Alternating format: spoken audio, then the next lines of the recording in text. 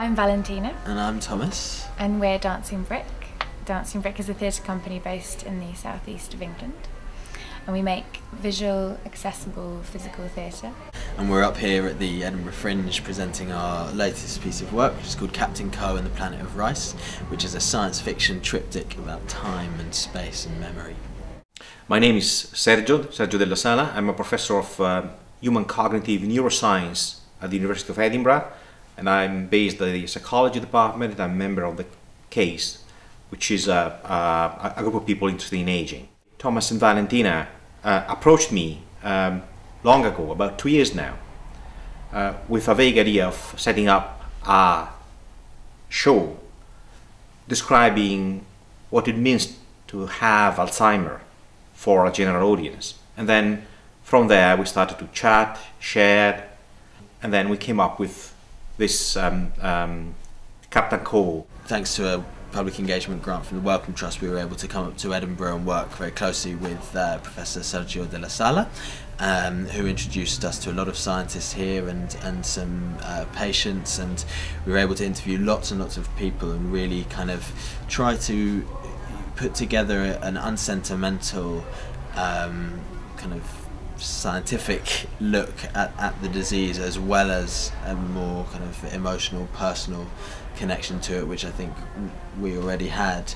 Um, and so the, the, the play developed with this idea that we wanted to kind of not present a uh, sentimental, kind of emotional, uh, tortuous um, depiction of what is a very difficult disease to live with, but rather we wanted to kind of place the disease in a in a kind of um, context which might tell us a little bit about how all of our relationships with time through memory are quite fragile or more fragile than we might sometimes think. We also um, held a discussion uh, with people who attended the event as an audience to get feedback and also to share views.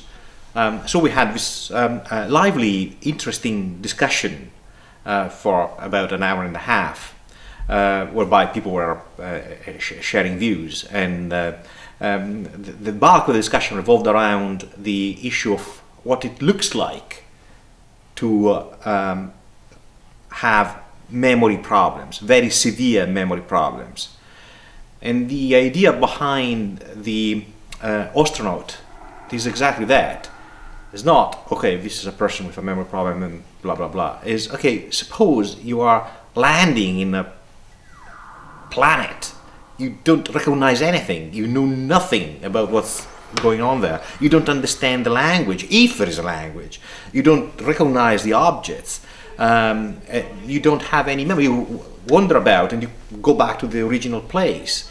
So that's how they a, a patient with alzheimer's disease may feel and the purpose was to make the audience feel uh, the uh, uh, uh, condition rather than being sorrow for the patients or their relatives. Professor Sergio Della Sala's enthusiasm about our work really spurred us on and, and he, he seemed to we seemed to meet artistically almost with him in, in quite an exciting way and he was proposing creative ideas along the way which we took on board. And it was a real mm. artistic collaborative process. It wasn't just that we were learning science from him. We were we were discussing new and imaginative ways of portraying something that often isn't portrayed in this way and, and doing it with quite an original voice which I think came from this like a collective voice so he's been